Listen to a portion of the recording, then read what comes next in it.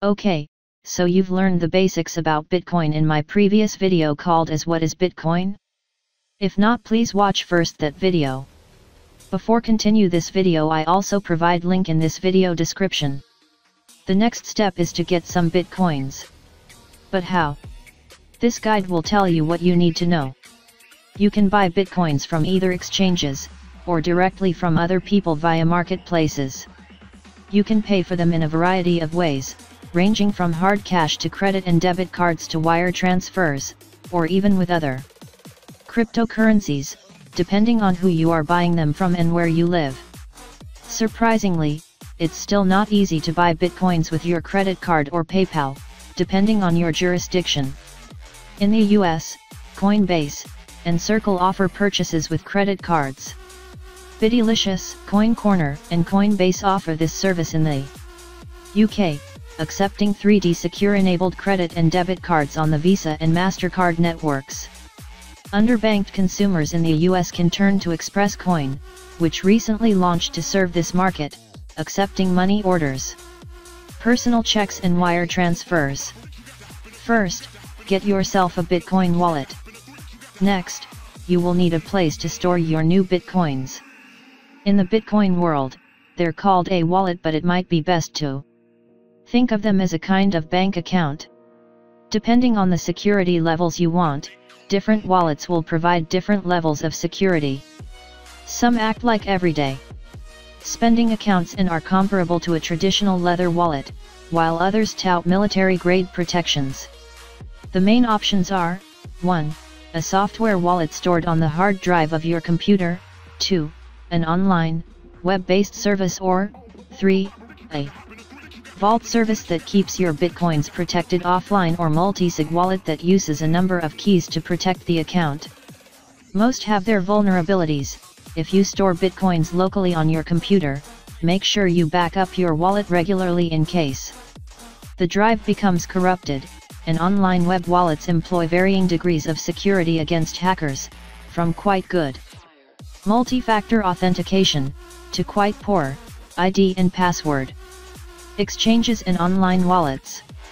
Bitcoin newcomers will find a variety of exchanges and wallets competing for their business. Some are full-blown exchanges for institutional traders, while others are simpler wallet services with a more limited buying and selling capabilities.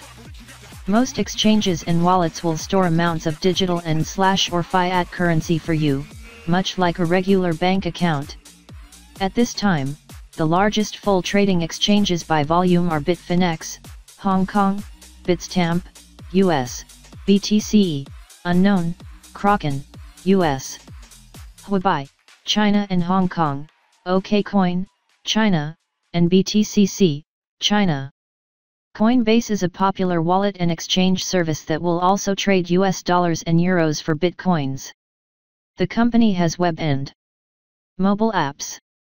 Originally a US-only service, Coinbase has recently opened up to a large number of European countries.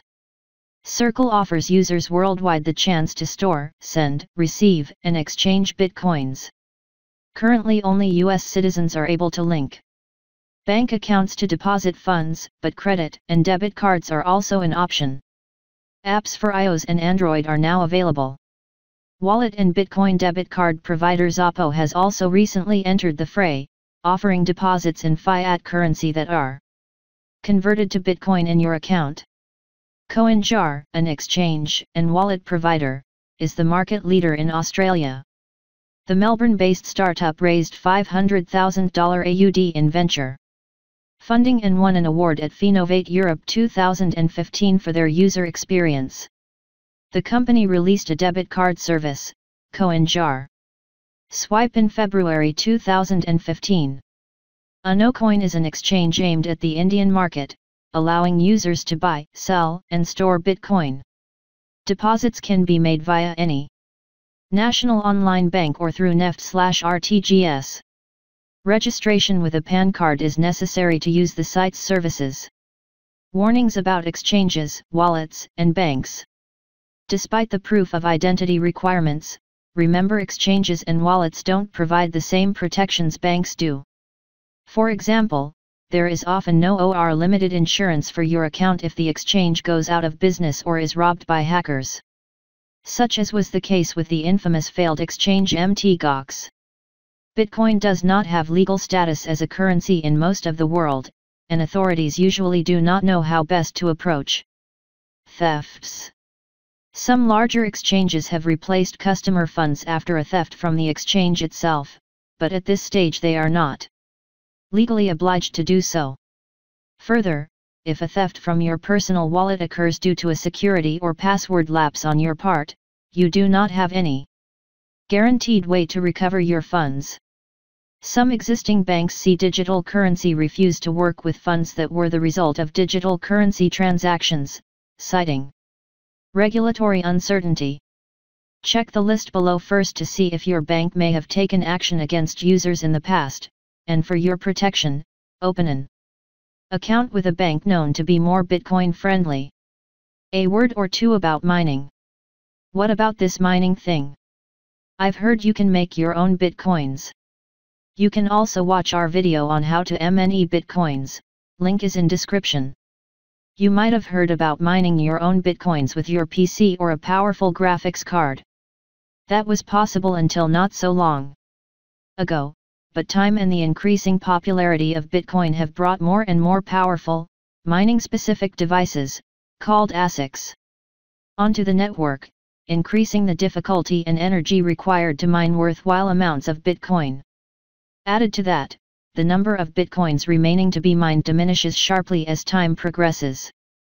All this means mining as an individual isn't as cost-effective as it was just a year ago many end up paying more for hardware and electricity than they ever make back in Bitcoin. Most mining these days is the domain of large mining groups called pools, and companies set up specifically to mine. You may choose to buy shares in such a pool or company, but mining is definitely not the hobbyist pursuit it once was. If you want to get into mining, our guide to that is here. Anyone who claims you can mine bitcoins with an ordinary PC or even a graphics card array in 2014 either has out of date information or may be trying to sell you outdated equipment. Beware! An investment trust. If you don't like the idea of having to buy and safely store a large quantity of bitcoins, you can turn to an investment trust. Such as the Bitcoin Investment Trust, BIT, or the Winklevoss ETF. This trust invests exclusively in bitcoins and uses a state-of-the-art protocol to store them safely on behalf of its shareholders. So far, the fund has been exclusively for serious, i.e., very rich, investors, but is to open to all, hopefully by the fourth quarter of 2014. The Bitcoin Superfund is a new option soon to launch in the UK. Conclusion Buying bitcoins is not always as easy as newcomers expect. The good news is the number of options is increasing, and it is getting easier all the time. Some may not even necessarily require a wallet or internet access.